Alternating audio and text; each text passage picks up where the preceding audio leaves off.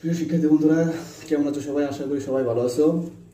গত পর্বে তোমাদের আলোচনা করেছিলাম প্যাটার্ন অধ্যায়ের প্রথম পর্ব নিয়ে। আজকে আলোচনা করব প্যাটার্ন অধ্যায়ের দ্বিতীয় পর্ব। গত পর্বে আলোচনা ছিল আমাদের মূল বইয়ের নয় নম্বর সৃজনশীল নিয়ে। আজকে দশ নম্বর সৃজনশীল নিয়ে আলোচনা করব। তাহলে আমরা চলে যাই, চলো বইয়ে। তাহলে দেখো কি বলছে দিয়াশলাইয়ের কাঠি দিয়ে নিচের ত্রিভুজগুলোর প্যাটার্ন তৈরি করা হয়েছে। তাহলে আমাদের তিনটা তিনটা চিত্র দিছে ক নাম্বার কি বলছে? দেখো, চতুর্থ চিত্রে দিয়াশলাইয়ের কাঠির সংখ্যা বের করো। আমাদের প্রথম চিত্রে একটা ত্রিভুজ, দ্বিতীয় চিত্রে কয়টা ত্রিভুজ? একটা, দুইটা। তৃতীয় চিত্রে একটা, দুইটা, তিনটা এবং চতুর্থ চিত্রে দিয়াশলাইয়ের কাঠির সংখ্যা বের করতো এরকম একটা চিত্র কি করতে বলছে আমাদেরকে? এরকম আরেকটা চিত্র, চতুর্থ চিত্র তৈরি করতে বলছে। চতুর্থ চিত্র তৈরি করার পর ওই চিত্রে কতটি কাঠি লাগছে, ওই সংখ্যাটা নির্ণয় করতে বলছে। তারপর বলছে প্যাটার্নের পরবর্তী সংখ্যাটি কীভাবে বের করবে তা ব্যাখ্যা করো। তারপর ঘ নম্বর বলছে আমাকে শততম প্যাটার্ন তৈরিতে কতগুলো কাঠি কতগুলো দিয়াশলাইয়ের কাঠি প্রয়োজন তা ব্যাখ্যা করতে হবে। তাহলে আমরা এখন ক নম্বর নির্ণয় করব, ক নম্বর কি বলছে? চতুর্থ চিত্রে দিয়াশলাইয়ের কাঠির সংখ্যা বের করো। তাহলে আমরা দেখতেছি একম চিত্রে একম চিত্রে ত্রিভুজের সংখ্যা কয়টি? একটি। দ্বিতীয় চিত্রে ত্রিভুজের সংখ্যা যদি আমরা গুণি সহজে একটা, দুইটা, তো তাহলে তৃতীয় চিত্রে ত্রিভুজের সংখ্যা কত? তাহলে একটা, দুইটা, তিনটা। তাহলে তৃতীয় চিত্রে ত্রিভুজের সংখ্যা তিনটি। এখন আমরা চতুর্থ চিত্র নির্ণয় করব। তাহলে চতুর্থ চিত্রে ত্রিভুজের সংখ্যা কয়টি হবে তোমরা নিজেরাই বলো। তাহলে সহজে বলা যাচ্ছে যে চারটি। এখন আমরা, আমাদেরকে বলছে যে চতুর্থ চিত্রে দিয়াশলাইয়ের কাঠির সংখ্যা বের করতে। তাহলে আমাদের যদি চিত্রটা দেওয়া থাকতো, তাহলে আমরা কাঠির সংখ্যাগুলো আমরা কীভাবে গুনি আমরা প্রথম- পর্বে শিখেছি। এখন যদি আমাদের চতুর্থ চিত্র দেওয়া থাকতো, তাহলে আমরা কাঠিগুলো গনে এখানে নির্ণয় করে ফেলতাম। কিন্তু আমার চতুর্থ চিত্র দেওয়া নাই, যার জন্য আমার কি করতে হবে? চতুর্থ চিত্রটা আগে চিত্রটা আগে আঁকতে হবে। তাহলে আমরা চতুর্থ চিত্রটা আঁকবো। এখন একের সরি হ্যাঁ অনুশীলন একের, প্রশ্ন নম্বর দশ। নির্ণয় কর্ম আমাদের প্রশ্নে কি বলছিল? যে চতুর্থ চিত্রে দিয়াশলাইয়ের কাটির সংখ্যা নির্ণয় করতে। তাহলে আমরা লিখব চতুর্থ চিত্রটির দিয়াশলাইয়ের কাটির সংখ্যা নির্ণয় করা হলো। চতুর্থ চিত্রটির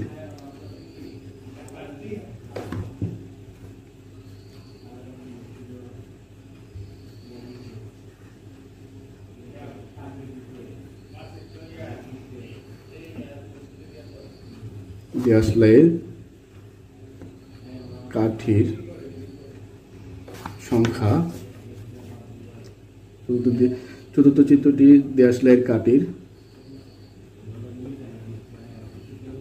সংখ্যা নির্ণয় করা হলো বা বের করা হলো একই কথা, ঠিক আছে? নির্ণয়।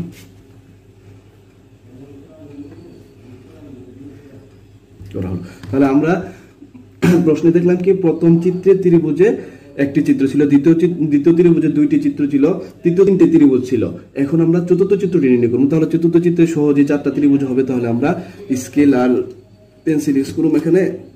এর জন্য মানে ত্রি- ত্রিভুজগুলো যে আঁকবো, এখন এর জন্য কোনো নির্দিষ্ট কোনো মাপ নেই। তোমরা তোমাদের মতো করে যত সুন্দর করে আঁকতে পারো, তাহলে আমরা প্রথম ত্রিভুজে ছিল একটি ত্রিভুজ, দ্বিতীয় দ্বিতীয় চিত্রে দুইটি ত্রিভুজ, একটি, দুইটি, এবং তৃতীয় ত্রিভুজে এক, দ্বিতীয়, তৃতীয় চিত্রে এক, দুই, তিন। তাহলে চতুর্থ চিত্রে অবশ্যই চারটি ত্রিভুজ হবে, তাহলে আমরা ত্রিভুজটা আঁকবো।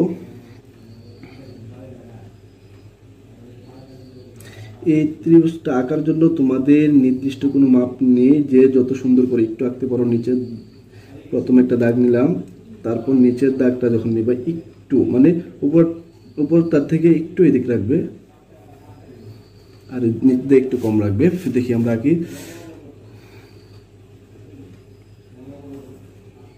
যদি আমাদের চিত্রটা দেওয়া থাকতো আর যদি বলতো যে কাঠের সংখ্যাগুলো নির্ণয় করে, তাহলে আমরা সহজে গণে বের করে ফেলতাম। কিন্তু এখানে আমাদের চিত্র দেওয়া নেই। আমাদের চিত্রটা দেওয়া নাই, এই জন্য আমাদেরকে চিত্রটাকে অঙ্কন করা লাগতেছে। নির্দিষ্ট কোনো মাপ নেই, যে যত সুন্দর করে নিজের মতো করে আঁকতে পারো, ঠিক আছে? একটা, দুইটা, তিনটা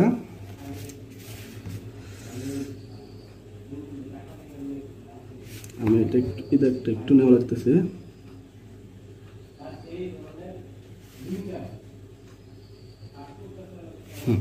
দেখো, আমি চারটে ত্রিভুজ আঁকলাম। একটা ত্রিভুজ, দুইটা ত্রিভুজ, তিনটা ত্রিভুজ, চারটা ত্রিভুজ হবে। এখন এই চারটা ত্রিভুজ আঁকতে আমার কয়টা কাঠি লাগছে? দেশলাইয়ের কয়টি কাঠি লাগছে, ওইটা নির্ণয় করতে বলছে। যদি কাঠিগুলো গণনা করি সহজেই, আমরা এখান থেকে যদি শুরু করি, দেখো তো একটু, একটা, দুইটা, তিনটা, চারটা, পাঁচটা ছয়টা। তারপর ভিতরে কয়টা লাগছে সাত, আট, নয়টা। আমাদের এই চিত্রটা তৈরি করতে মানে চারটা ত্রিভুজ থাকতে আমার কাঠি লাগছে কয়টা?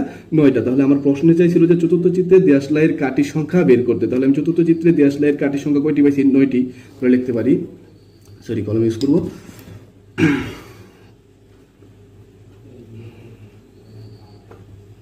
চতুর্থ চিত্রে দিয়াশলাইয়ের কাঠি সংখ্যা।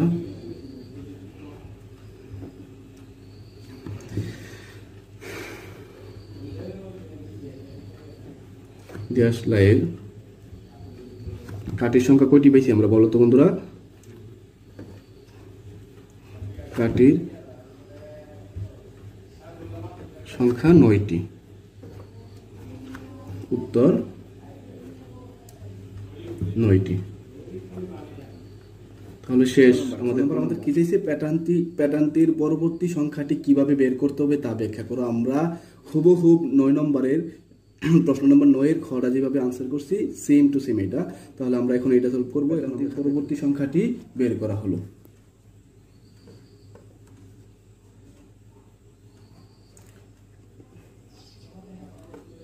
প্যাটার্নটির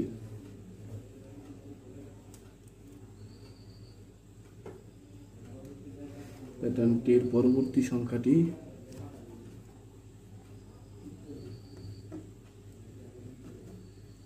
প্যাটার্নটির পরবর্তী সংখ্যাটি নির্ণয় করা হলো। সরি পরবর্তী সংখ্যাটি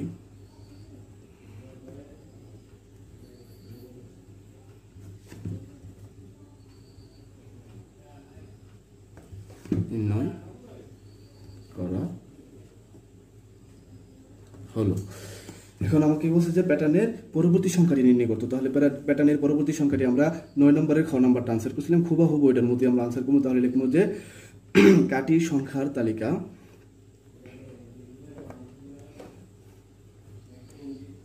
কাঠির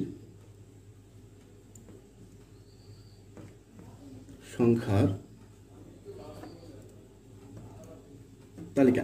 আমরা কাঠি সংখ্যার তালিকা কীভাবে বের করব? যে কাঠি সংখ্যাগুলো মানে চিত্রের কাঠিগুলো কতটা, একটা চিত্রে কতটি কাঠি আছে, এই সংখ্যাগুলো নির্ণয় করতে তাহলে আমরা দেখি তো প্রথম চিত্রে কয়টি কাঠি আছে? এই যে একটা, এই যে একটা, এই যে একটা। তাহলে একম চিত্র তিনটি কাঠি দ্বারা তৈরি।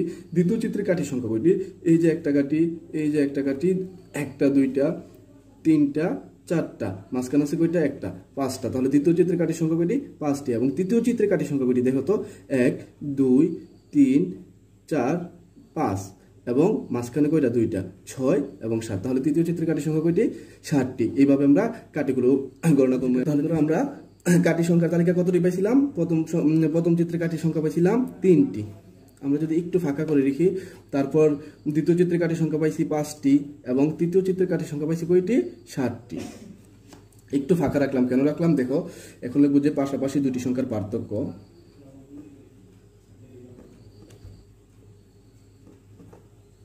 পাশাপাশি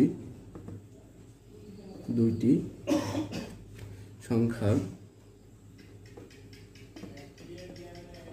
পার্থক্য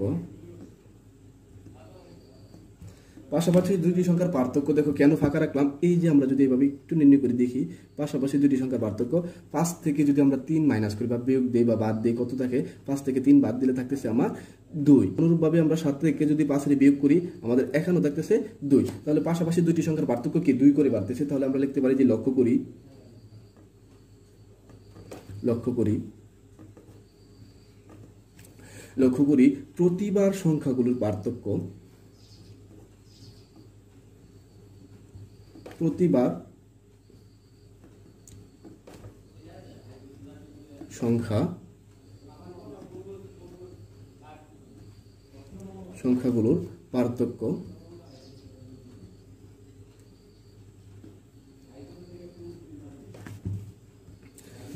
প্রতিবার সংখ্যাগুলোর পার্থক্য আমার কই করে বৃদ্ধি পাইতেছে?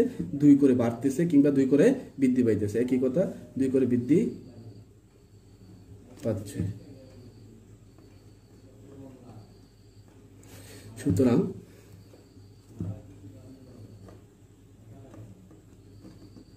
তালিকার পরবর্তী সংখ্যাটি।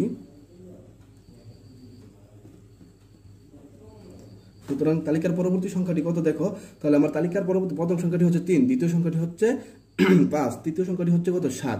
তাহলে তালিকার পরবর্তী সংখ্যাটি হবে কারণ আমি পাশাপাশি দুটি সংখ্যার পার্থক্য। তাহলে তালিকার একটা সংখ্যা থেকে আরেকটা সংখ্যার পার্থক্য কত? দুই করে বাড়তেছে। তাহলে আমি তালিকার সর্বশেষ সংখ্যাটি কত পাইছিলাম? সাত পাইছিলাম। সাতের পরে যোগ কত করে বাড়তেছে? প্রতিবার কত করে বাড়তেছে? তাহলে দুই করে বাড়তেছে, তাহলে সাথে সাথে যদি দুই যোগ করি, তাহলে যোগ করলাম দুই, সাত যোগ দুই সমান সমান কত হইতেছে? নয়। তাহলে আমার তালিকার পরবর্তী সংখ্যাটি হবে কত? নয়। কীভাবে হইল দেখো তো প্রিয় শিক্ষার্থী বন্ধুরা, আমার তালিকার সর্বশেষ সংখ্যাটি কত? তালিকার প্রথম সংখ্যাটি হচ্ছে তিন, দ্বিতীয় সংখ্যাটি হচ্ছে পাঁচ এবং সর্বশেষ সংখ্যাটি হচ্ছে সাত। তাহলে আমার প্রতিবার সংখ্যাগুলো একটা থেকে একটার পার্থক্য কত? দুই। মানে দুই করে বাড়তেছে। যদি দুই করে বাড়ে, তাহলে পাঁচের পরে দুই বৃদ্ধি পায় হচ্ছে সাত। তাহলে সাতের সাথে দুই যদি বৃদ্ধি পায়, তাহলে নয়। তাহলে আমরা লিখতে পারি উত্তর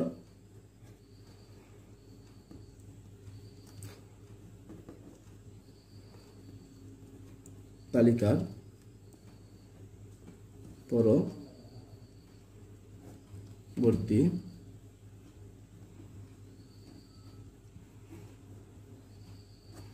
এখন আমরা নির্ণয় করব গ নাম্বার। গ নাম্বার কি বলছে দেখো তো? শততম প্যাটার্ন তৈরিতে কতগুলো দেশলাইয়ের কাটি প্রয়োজন? এখন একটা জিনিস খেয়াল করো আমাকে শততম তার মানে কি শততম মানে একশো শততমে মানে একশো, একশোতম মানে একশোটি প্যাটার্ন তৈরিতে কতগুলো দেশলাইয়ের কাঠি লাগবে? দেখো এখানে একম চিত্রে মানে একম ত্রিভুজে কয়টি কাটি লাগছে? দ্বিতীয় চিত্রে মানে দ্বিতীয় ত্রিভুজে, এখানে দুইটা ত্রিভুজ দুইটা ত্রিভুজে কয়টি কাটি লাগছে এবং তিনটা ত্রিভুজ? এভাবে যদি আমি একের পর এক, একটা, দুইটা, তিনটা, চারটা, পাঁচটা, ছয়টা, এভাবে একশো পর্যন্ত যদি ত্রিভুজ আঁকি, তাহলে দেখা গেছে যে শিক্ষার্থী বন্ধুরা, আমার খাতার পর খাতা জায়গা নেব না। এখন আমাকে অঙ্কের মাধ্যমে বের করতে হবে, কীভাবে বের করব? দেখো, শততম প্যাটার্ন তৈরিতে কতগুলো দেশলাইয়ের কাঠি তৈরি কাঠির প্রয়োজন। তাহলে আমরা খাতা ছিল যে শততম প্যাটার্ন তৈরি তৈরিতে কতগুলো দেশলাইয়ের কাঠি প্রয়োজন? তাহলে আমি লিখলাম যে শততম চিত্রে কাঠির সংখ্যা নির্ণয় করা হলো। তাহলে শততম চিত্রে উম, আহ, শত মানে শততম মানে কি একশো? একশো যদি ত্রিভুজ আমি মানে অঙ্কন করি তাহলে আমার কয়টি দেশলাইয়ের কাটি প্রয়োজন এটা নির্ণয় করতে বলছে। তাহলে আমার দ্বারা একশোটা চিত্র মানে আঁকা সম্ভব সম্ভব বাট আমার খাতা লাগবে বেশি এবং পরীক্ষা হলে সময় লাগবে বেশি। আমার এতগুলো সময় হাতে থাকবে না তখন। তাহলে আমি অঙ্কের মাধ্যমে সলভ করব। কীভাবে সমাধান করি? দেখো তো একটু যদি লিখি একম চিত্রে একমচিত্রে কাঠির সংখ্যা।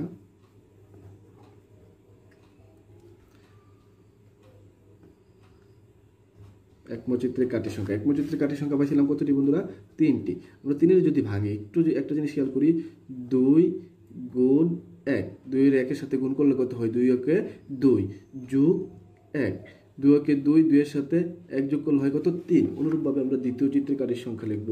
দ্বিতীয় চিত্রে কাঠির সংখ্যা। দ্বিতীয় চিত্রে কাঠি পাইছিলাম কতটি বন্ধুরা? পাঁচটি।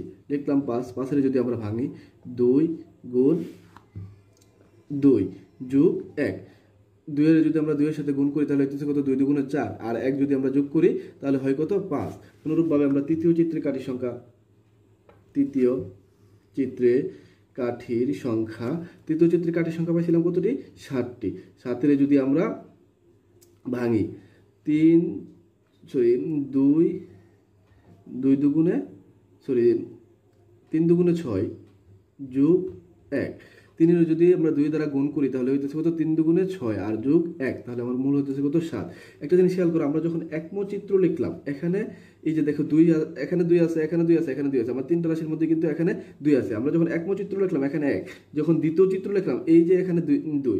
আবার যখন তৃতীয় চিত্র লিখলাম, এখানে তিন। আমাদের যত চিত্র লিখতেছি, এক এক করে বৃদ্ধি পেয়েছে আর ওক পাশে যা আছে plus one plus one plus one সবগুলো একই আছে। তাহলে আমরা এখানে যদি লিখি কতম চিত্রে ক কতম চিত্রে কাটির সংখ্যা? তাহলে আমরা তৃতীয় চিত্রে কাটি পেয়েছিলাম কতটি? ষাটটি। এবং তিনের ভাঙলাম, তিন দু ষাটটি, সাতের ভাঙলাম, তিন দু, তিন দুগুণে ছয়, এক, সাত। তাহলে আমরা কতম চিত্রে তাহলে আমরা যদি লিখি ক, সবগুলোর মতো যদি আমরা এখানে দুই লিখি, লিখলাম, এবং যততম চিত্র লিখলাম, প্রথম চিত্র লিখলাম একম হয়েছে, দ্বিতীয় লিখছিলাম, দুই হয়েছে, এখানে তৃতীয় লিখছিলাম, তিন হয়েছে। তাহলে এখানে ক, তাহলে এখানে আমরা ক লিখতে পারি? ক যোগ এক।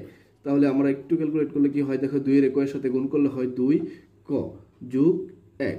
তাহলে এটা আমার একটা বীজগণিত সূত্র হয়ে গেছে। এই সূত্রের মাধ্যমে আমরা শততম চিত্রের কাঠি সংখ্যা নির্ণয় করে ফেলব। তাহলে আমরা এখন লিখতে পারি সুতরাং, আমার শততম মানে কি? একশোটি চিত্রে। তাহলে সুতরাং একশোটি চিত্রে, শততম মানে একশো। একশোটি চিত্রে, একশোটি একশোটি চিত্রে কাটির সংখ্যা একশোটি চিত্রে আমার কাঠের সংখ্যা কতটি হয় একটি জিনিস খেয়াল করো। দুই যা আছে তা। আর আমরা কয়ের পরিবর্তে, কয়ের জায়গায় আমরা একশো ইউজ করব।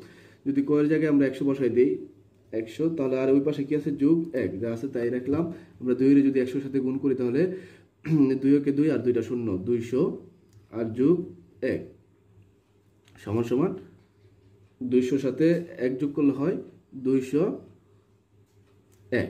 উত্তর দুইশো এক। তাহলে আমার শততম চিত্র যদি আমি নির্ণয় করি, তাহলে আমার কাঠি সংখ্যা লাগবে কি? দুইশো একটি। তাহলে উত্তর আমার তাই। বন্ধুরা, আসলে কিন্তু অঙ্কগুলো অনেক সহজ বাট আমাদের অনেক করতে হবে। সৃজনশীল প্রশ্ন তুমি যত প্র্যাকটিস করবা, তত ভালো হবে। এই জিনিসটা মনে রাখবা, সৃজনশীল প্রশ্ন, তোমাকে বারবার প্র্যাকটিস করতে হবে। যত বেশি করে প্র্যাকটিস করবা, তত তোমার কাছে সহজ মনে হবে। তাহলে আজ আমরা এখন পর্যন্তই। আশা করি সবাই বাসায় ঠিকঠাক মতো লেখাপড়া করবে এবং ভালো থাকবে।